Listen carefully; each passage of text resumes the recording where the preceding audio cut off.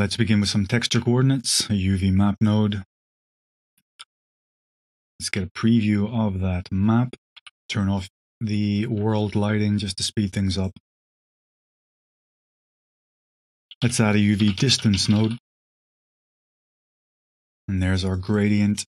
We're getting a gradient with a radius of 0.5 because our plane is 1 by 1 reflected in the center point of the gradient being 0.5 and 0.5. I'll leave it at 0.5 for both u and v. Let's drop in a math node, set to subtract. Let's duplicate that node and swap the noodle into the bottom socket. You can see what we're doing here. We've got an inverse of the gradient we've created Let's duplicate this math node and set the operation to divide. We'll turn clamp on this time. And we'll use this input to control the size of this gradient, the fall off of the gradient essentially, and this control will be for the radius. We'll do the same for the V component, and let's drop in some fader nodes to control these values. This one will control the radius, and this one will control the size of the edge, essentially. Let's drop that down. Now we can add these results together to get a result a little something like that. And now when we invert the gradient by subtracting it from 1,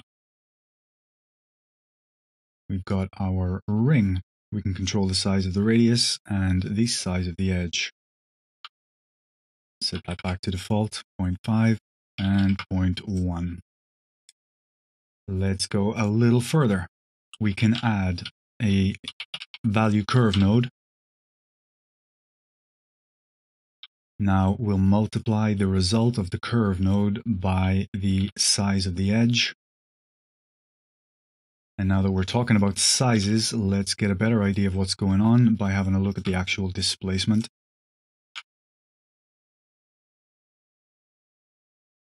Goes into height with a mid-level of zero and turn the world lighting back on. Looking pretty good. Let's see the controls we have created so far. We've got our soft edge control.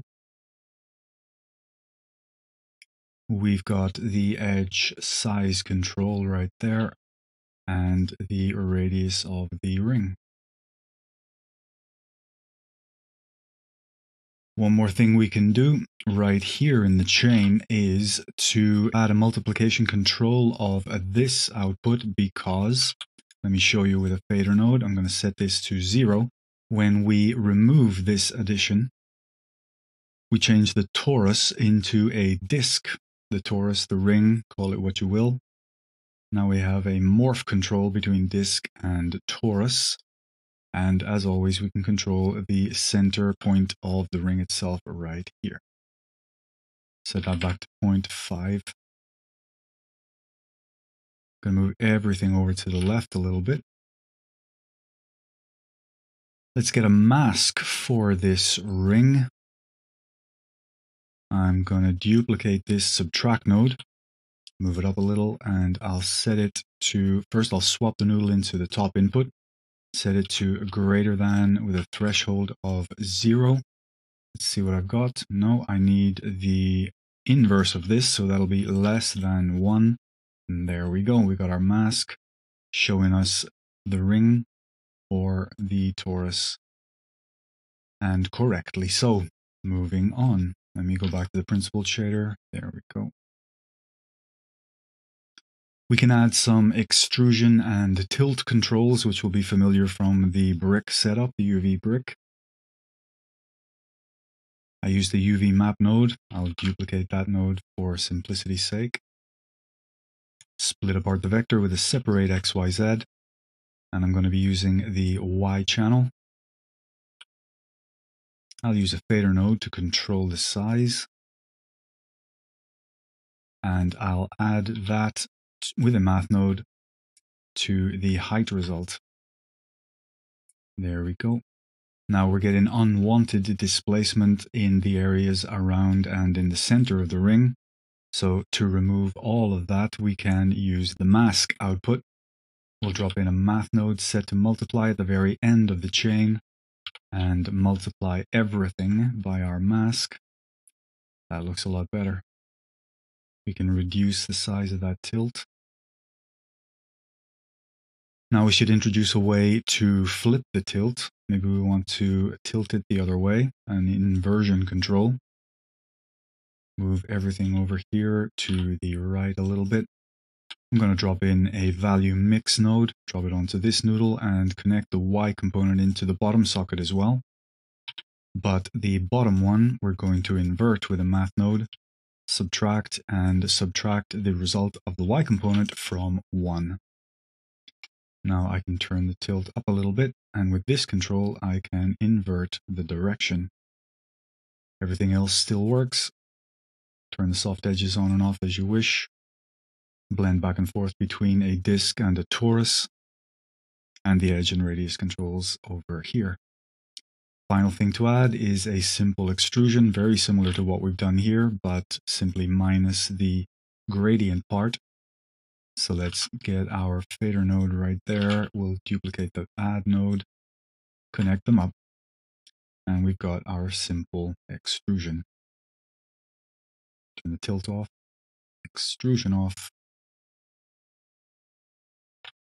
And with that, we are done. We have created a UV disk.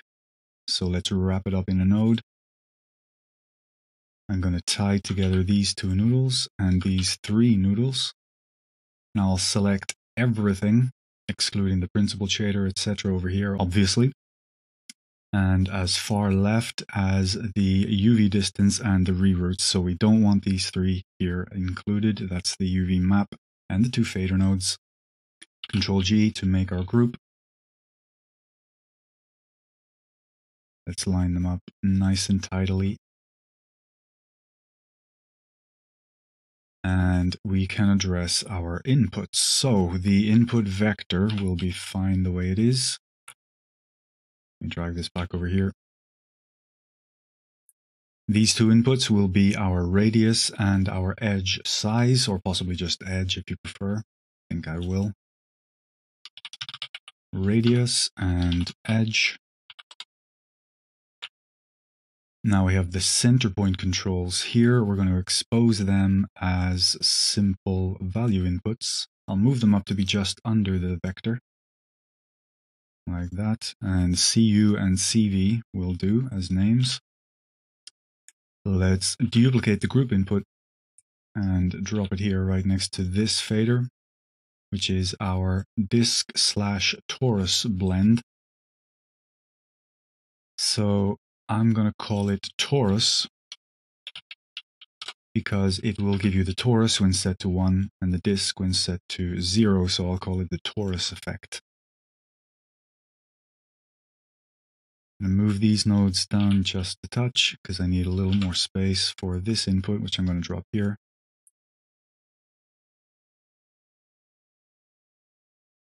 And this curve controls our soft edges. Again, familiar from the bricks. Soft edges. The flip controls we will name as such. This is the direction control or the flip control. And this would be the tilt intensity. So we will connect this one first, and I'll call this tilt. Short for tilt amount, I guess. Now I'll connect this one. I'll set it to a default of zero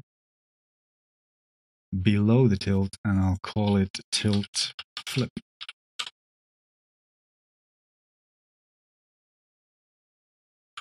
Duplicate the group input node one more time hook this up and we'll call it extrusion. And I'm actually going to move extrusion above tilt, I think. And there we go. We might also want to access the mask from outside, so I'll expose that one. First, I'll name this existing value to height. And then connect the mask, name it as such, and I'm going to move it to the top.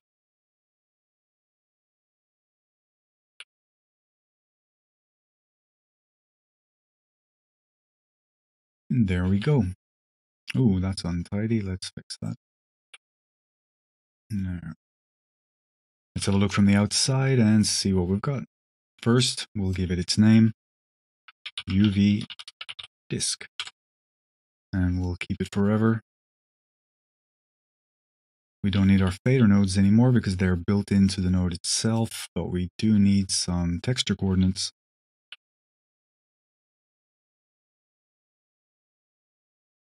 Drag everything back over here and fix our defaults because there's clearly something a little bit wrong. The center values are fine, 0.5 will work. I'm going to set the radius back to 0.5 and the edge 2.1. There we go.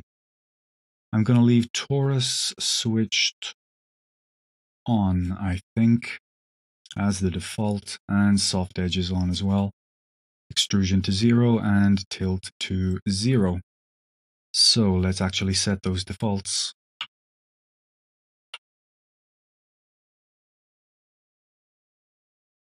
Center U and V are already set. Radius I set to 0.5. Edge to 0.1. Torus I left at 1. Soft edge is at 1 and everything else is already correct. So with that, the UV disk is officially finished. Now then, Actually, before we go any further, I think I forgot, in fact, there. Okay, that needs to be swapped out for the input vector. Very simple. Okay. And with that, the node is done. And we can start building some materials. So let's move it over to the left a little bit. We'll make some room and drop in a UV grid node using the normalized output, even though that is very cool normalized and make a little more room. Now, in terms of height, we have to account for the tile size here because we're using the normalized output. We have a tile size of 0.1, so add a math node set to multiply by 0.1. I'm reasonably happy that my heights are going to be correct, so I'm going to swap the displacement setup for a bump setup just to make things a little more snappy.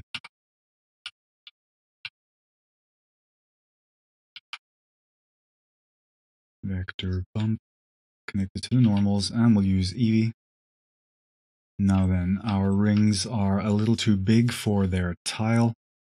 And that's because we're using the normalized output. We have a radius of 0.5 and then an edge of 0.1.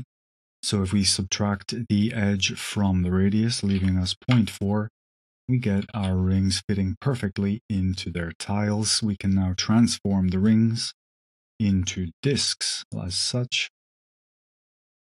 And let's give them a little tilt. As a matter of fact, to see the tilt, I'm going to go back to displacement. Forgive the back and forth. I change my mind quite a bit. Mid-level of zero and use a cycles preview, turn on the subdivision. I'm going to need a little more subdivision. There we go. Now then, the tilt functions. Let's flip the tilt. There we go. Okay. I'll move that in a little closer. I'm going to use a value input node for the sizes here, currently 0.1, both width and height, and now also the height adjustment multiplication here at the end. I'm going to move the value node over to the left a little bit and select these four nodes, Control Shift and D to duplicate them and keep the incoming connections. Now I'm going to move this duplicate UV map over to the left a little, giving me room for a vector math node.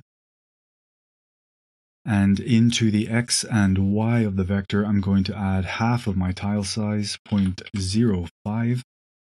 Now let's check the original preview. That's what that looks like. Our altered preview looks like that. And now if I combine both of these layers with a math node set to maximum, we get a scales-like effect. Call it fish scales, dragon scales, or possibly a round roof tile. I'll turn the subdivision down briefly and I'm going to change this arrangement here. I'm going to introduce a separate height control. So we have individual controls over width and height.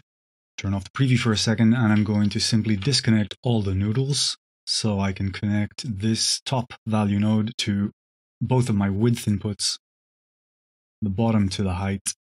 And now we have to decide which of the two to use to control the height manipulations here at the end. We'll very simply choose the smaller of the two. We'll use a math node and we'll set it to minimum, connect both of the input nodes, and we'll use that result to control our multiplies. And now if I increase the vertical size, you'll see that the tiles get stretched and we have to address the offset values as well. These offset values were half of the relative size input, be it width or height.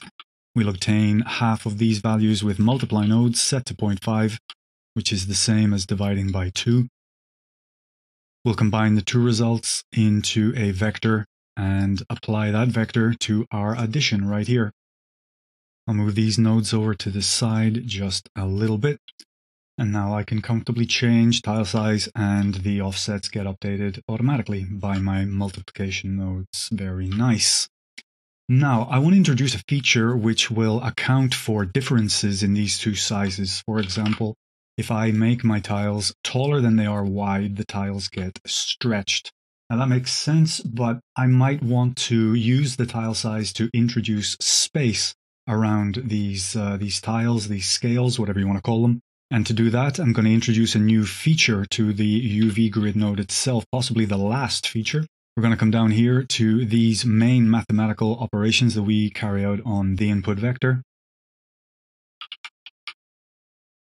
We'll need a group input node and a number of math nodes set to divide with clamp turned on. The first one, I'm going to divide the height by the width, and now I'm going to duplicate that node and keep the connections so I can simply swap them over so here we have height divided by width, and here we have width divided by height. The next math nodes will be some multiply nodes, which we're going to use to control this effect. So I'll do it for both of the channels. And now all I have to do is divide these two results coming from the divide nodes by these results. So I'll divide the x result by this output, set it to divide, hook up the multiply, I'm going to actually minimize this divide node, duplicate that one and drop it onto the Y noodle. Hook up my second multiply node. And now from the outside, you'll see that I can increase the size of the cells of the UV grid, but the size of the tiles does not change. As a matter of fact, to account for the difference in size, you'll see the UV grid introduces padding. For example, if the horizontal, if the width input is smaller than the vertical, it will introduce padding along the vertical to account for the difference in size. And then if I bring the width up to exceed the height, it introduces the same padding but horizontally.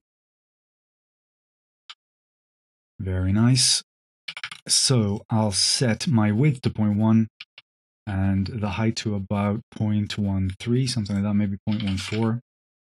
Move them apart a little bit more and let me just adjust this offset right here. If I remove the Y entirely, no, I'm going to keep the Y and I'm going to remove the X. There we go. That stacks my tiles up one on top of the other. And now I'm going to create two new layers. I'm going to duplicate these layers, add two new layers to the mix, and I'm going to move the new layers right by the value of half of tile width. And then I'll move along the y-axis up by 0.25 and down by 0.25, giving me an offset of 0.25 and 0.75 and you'll see very soon exactly why. Let's duplicate these layers. And I'll move them down a bit. Let's see the output of this layer. It's the same as the first. I'm going to move this UV map over a little bit because I need to introduce an offset like I did here, which I'll do with an add node. So duplicate the add, why not? I'll disconnect these offsets and I'll get myself a copy of the X offset. There we go. So now this is my X, this is my Y, both set to multiply by 0.5. We'll use some combine XYZ nodes to change these offsets into vectors. And both of these offsets along the x-axis get half the tile size. So I'll hook that up. Now I need two individual versions of the Y offset. And as I said before, the first one is 0.25 instead of 0.5, and the second 0.75. Now watch what happens when I connect these offsets to the Y channels. We go back to something we recognize, but this time we've got an offset of 0.5 in both directions. Meaning that if I take all of the layers, all four layers, and combine them with a final maximum node, we get a dense network of tessellating scales which overlap vertically. We can control the spacing, making the scales bigger or spreading them apart as we see fit. Height as well. And the scales or tiles, whichever way you want to look at them, will remain perfectly circular. The edges and the space offsets will not be changed. Furthermore, you have the controls in the new UV disk node to play with and make changes. So let's select all four of them. And now I can hold Alt as I make changes to apply the same change to all four nodes. You'll see that I can turn soft edges off and that affects all the layers. Let's get a little more resolution. I can turn torus on for all of the layers. That looks interesting.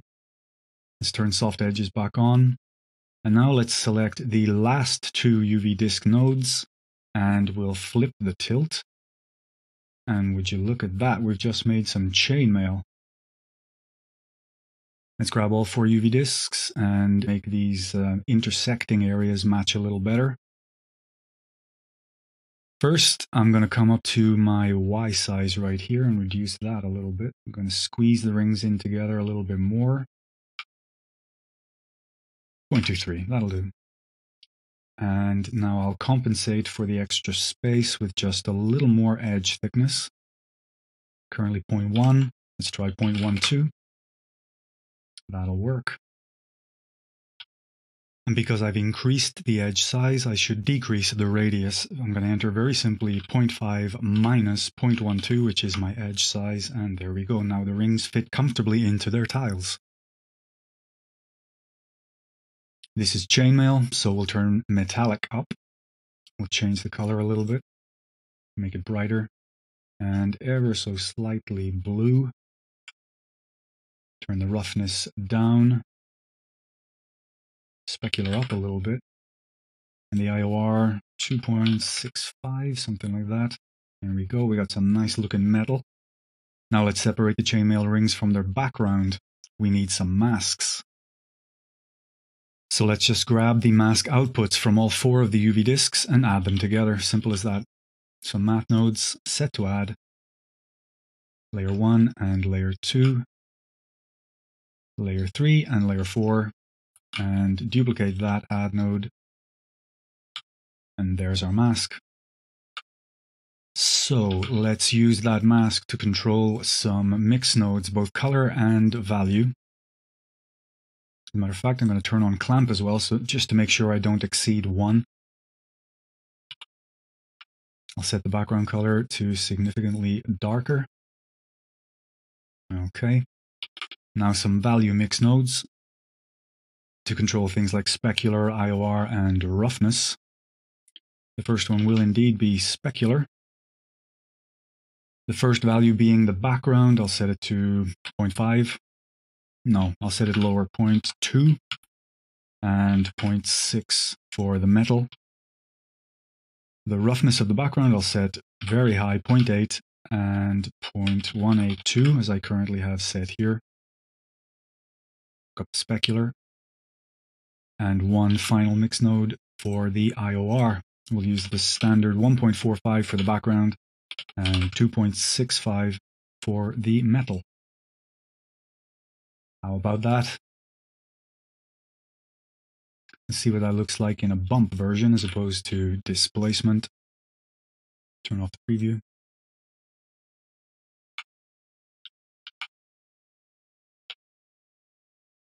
Check it out in Eevee. Nice and quick to compile and looking very nice.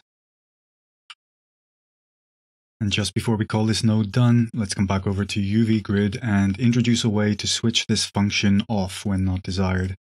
The way we're going to remove it from the mix is to replace the result of these. Actually, these multiply nodes are no longer necessary, so I'm going to get rid of them. And I'm going to change to a cycles preview just to avoid the constant refreshes. To deactivate this function, we're going to divide by 1 here instead of dividing by the result of these divide nodes. I'll do that with some value mix. The result of the divide node goes into the bottom input and the top input I'll set to 1. I'm going to switch to 0 for a 0 default, so this function, which I'll call square, will actually be off by default. Swap the noodle into the bottom. Whoops, let's try that again. There we go. Value 1 to 1. And now I'll use one of these factor sliders to create the input and have the input control both of the mixes. Final step is to change the slider into a switch with a math node operation greater than threshold of 0.5. Now let's see what we got from the outside. First, let me give that factor a name so we know what it is. Square. And now from the outside, square is currently switched off. And the tiles, in fact, are stretched, as you would expect,